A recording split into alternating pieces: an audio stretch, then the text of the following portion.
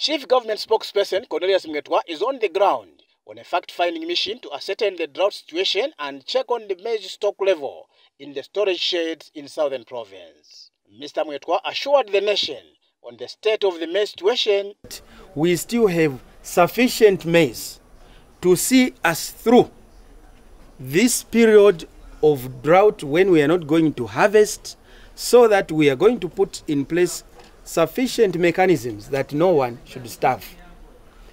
This maize is from last year's harvest.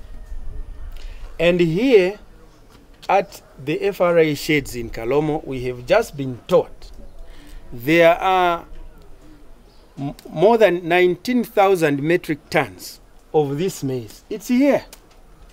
Meanwhile, the minister also toured the FRA sheds in Choma. Uh, right now we are sitting on 260,616 bags, which translates to uh, 13,076 metric tons. So in this shed where we are, we have 2023 stock, which is uh, 90,720 bags, and uh, the other number of bags are in other sheds. So I'd like to invite uh, colleagues in the opposition, Mr. Kalaba, uh, Mr. Emmanuel Mwamba, and others who have been, eh, you know, claiming that uh, government has sold all the maize, that they should come and see for themselves that the maize is here is intact, as you can see, from the way it was packed last year, still intact, so that they should stop misinforming the nation. I want to thank the president for allowing us to for allowing this program of community maize sale because it allows our people to access this maize locally.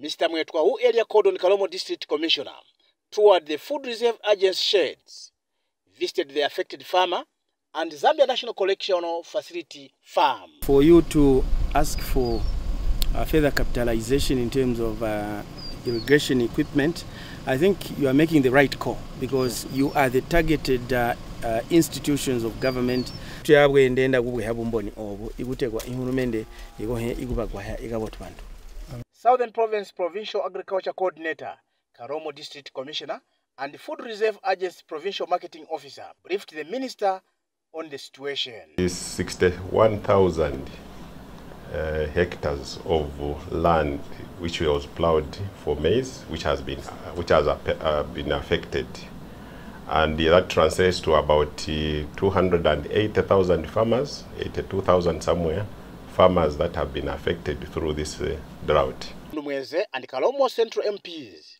had this to say. You can see all the sheds, there are four here, and this is what we need to assure the nation. Like the president said, no one will die out of hunger. Honorable Minister, what we are requesting as a district is probably to increase the community sales. They are not enough. Gift Banji, Zanis in Kalomo, Southern Province.